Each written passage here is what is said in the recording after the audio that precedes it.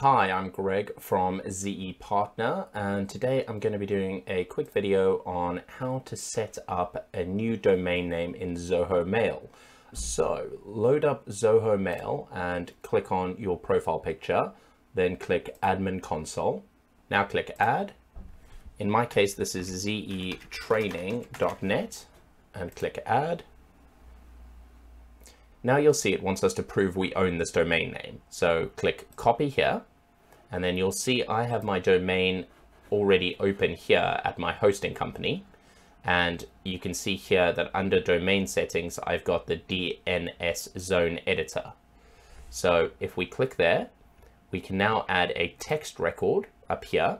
We're going to change the TTL, which stands for time to live, to five minutes. And we're going to paste in that text record and you'll see that it tells us to leave the first part blank or with just an at symbol. So in this case, we'll just leave this blank and click create. Now, if we go back here, we can say verify text record, but bear in mind, this does sometimes take time. I found SiteGround to be really quick, but sometimes other domain providers and even SiteGround themselves can be quite slow. Great, so that's been verified.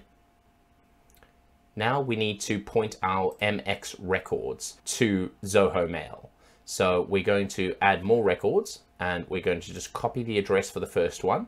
You'll see it's priority 10. And again, we're leaving the name as blank.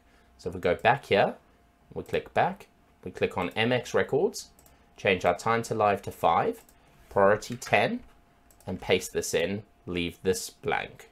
Create, and now we've got to do the same thing three times. So we'll do it again for the 20 priority.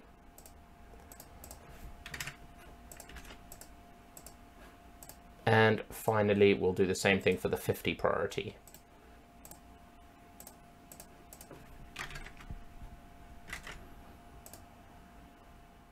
Now again, this can take time to update, but in our case, we hope that SiteGround is going to do it quickly. So we'll verify. So this is reminding us that we still have MX records for our old provider. So the domain comes with default providers for the mail and I need to delete these. Otherwise the mail coming in to the domain won't know where to go. So you see, I'm looking for my MX records for the old provider and I'm deleting them now so that the only MX records we'll have here will be for Zoho. So if we go back and we go verify my records again, now you'll see that has been verified. Now, this is very important and this is where a lot of people stop because technically mail will now go to my email address at zetraining.net. When someone sends an email to that, it'll come to my inbox on Zoho Mail. But that's not good enough. You must, must, must set up your sender policy framework. So again, it's just an easy case of adding another record and you'll see here that we want to copy all of this. But now this is really important. If you already have a record that starts V equals SPF1, then we want to add this into that existing record. You don't want to create multiple versions of this. So I'll show you what I mean. So if we scroll down here, we can see here that I already have one set up. So instead of adding a brand new one, and just for your information, if I was adding a brand new one, it would be up here as a text record, time to live five, and I'd paste it in there. But in this case, I'm not going to do that. I'm going to edit the existing one that I already have, and I'm going to, actually, I'm just going to replace all of this because what was here before was for the old mail provider, and I no longer need that. But when I set this email address up with Zoho Desk or inside Zoho CRM and all those other places, then I will just add to this one existing record. So now we come back and we say verify, and that verification has gone through. Now we need to set up the DKIM. Now this is the encryption that is added to your email that your mail program can then check with the domain to see that it's actually come from us. Because technically, anybody can send an email from your email address, but that's what's called spoofing. And we put DKIM in place to stop spoofing from being possible so that when our emails are sent to people, their email program can tell that it's legitimate and it's come from us. This will help massively with your delivery and making sure that your emails don't go into people's spam boxes. So here we're going to copy the text name and we're going to go back here and we're going to say the name is that and then we're going to go and copy the DKIM record and we're going to paste that in here and we're going to keep the time to live at five minutes and we're going to create. Now we can go back here and we can scroll down and say verify DKIM record. And now you can see that our domain is properly set up. So there's a few more things we can do.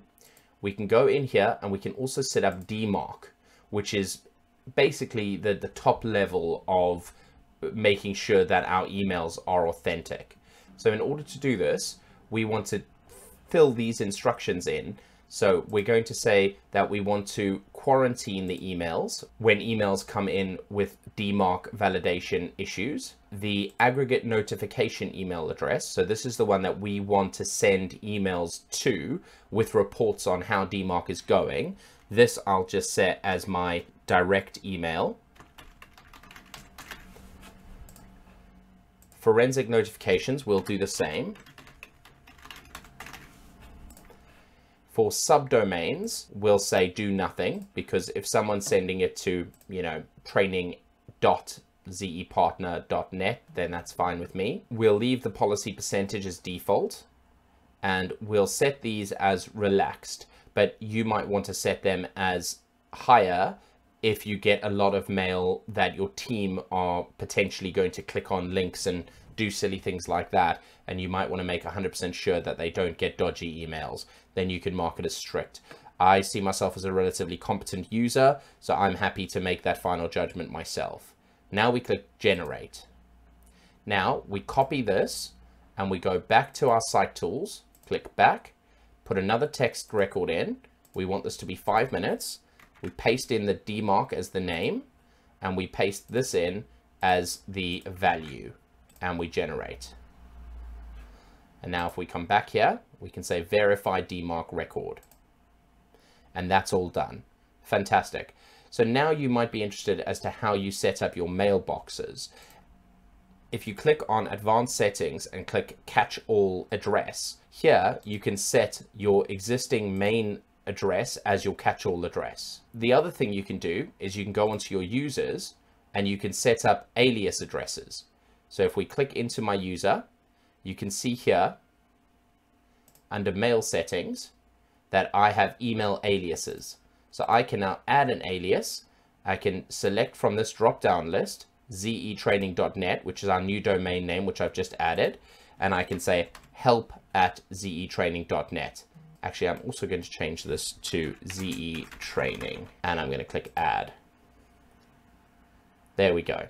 So now when I go into my email, I can see that I've received an email from the Zoho team saying that my new email address has been added. And if I click to send a new email, I can now select from help at ZE training. And then the name on this account will be ZE training. So when that hits somebody's inbox, they'll see the name ZE training as the from. Let me know in the comments if you have any trouble with this and I'll see how I can help you. If this works for you, please give us a like on this video. And if you're looking to learn more about Zoho, why don't you check out our next video teaching you all about Zoho Flow.